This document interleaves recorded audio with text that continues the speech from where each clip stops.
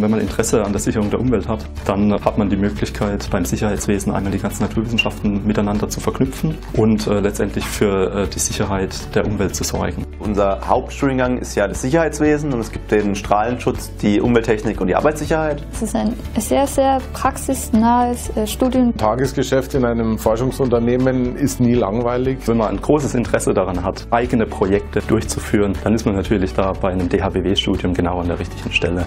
Das erste Mal durfte man was messen an dem Präparat, das oben lag. Es war natürlich am Anfang so, uh, Radioaktivität.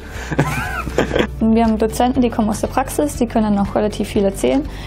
Man hat Mathematik, äh, Physik, Elektrotechnik, äh, Statistik, ein bisschen Informatik. Ja, das Wichtigste ist natürlich das Interesse an den Naturwissenschaften.